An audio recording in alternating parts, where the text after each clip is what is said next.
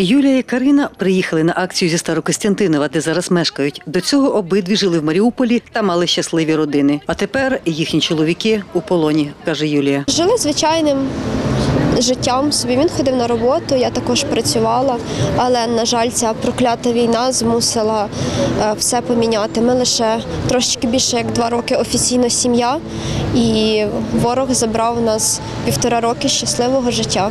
Розповідає, її чоловік пішов служити в Азов, і остання звістка від нього була перед виходом із Азовсталі півтора роки тому. Це дуже важке питання, тому що будь-яку інформацію ми можемо отримати лише від обміняних хлопців. На жаль, зараз обмінів ну, немає, а обміни, в якому були б азовці, то так взагалі. Наскільки відомо, азовців тримають окремо від інших військовополонених, тому інформації на, на зараз ніякої немає. Допомагає триматися віра, надія і любов. На акції в Хмельницькому приїжджає, каже, коли вдається, бо для неї важливо спілкуватися з родичами інших військовополонених. Всі маємо одну проблему на всіх, одне спільне горе на всіх.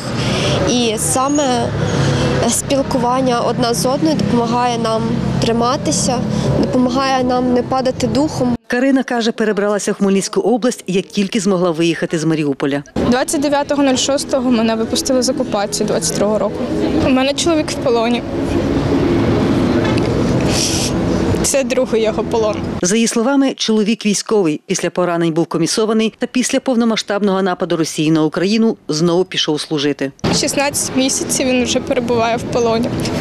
Він має два поранення, втрату зору, але чомусь в обміни він не потрапляє. Втрата зору була вже коли він перебував в полоні. Жінка каже, чекає свого коханого і намагається не зневірюватися. У мене є сини.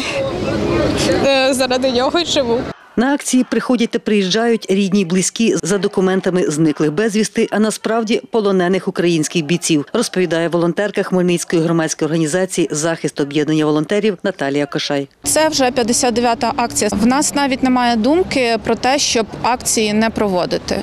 Ми дали собі обіцянку, е, що кожної п'ятниці будемо виходити, тому що е, в наших героїв, які на жаль зараз перебувають у полоні, які мають безвісти статус безвісті зниклої людини, е, в них немає ні вихідних, в них немає ні свят. Останній обмін був дуже давно. Ми всі чекаємо, тому що е, в нашій спільноті більше 40 родин, і кожна родина чекає свого рідного додому. Із її слів, в російському полоні перебуває і її близька людина. Світлана Поробок, Дем'ян Цегольник, Суспільне новини, Хмельницький.